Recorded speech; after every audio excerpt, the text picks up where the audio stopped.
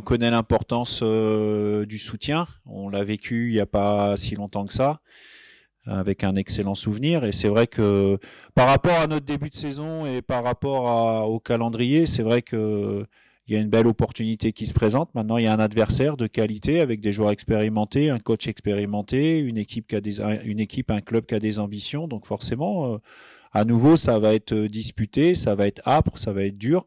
À nous de se préparer pour pour être prêts et, pour pouvoir euh, gagner ce match-là. Pour moi, oui, c'est le match idéal comme tu dis. C'est là où il faut lâcher les chevaux, euh, tout donner et lancer la saison derrière euh, sur les autres matchs qui arrivent. Donc euh, ça peut être le, le, match parfait. On est prêt, on est déterminé, surtout qu'on le fait à domicile, donc voilà, devant notre public, dans nos stades. Donc on a à cœur de de prendre les trois points et de jouer un derby. On va faire notre jeu comme on a fait depuis le début sur chaque match. On va continuer, on va faire même plus parce qu'aujourd'hui voilà. On, n'a pas les points ou quoi que ce soit derrière ou la réussite des fois. Donc euh, voilà, aujourd'hui nous, ça va être tout sur l'état d'esprit. On va tout donner sur le terrain.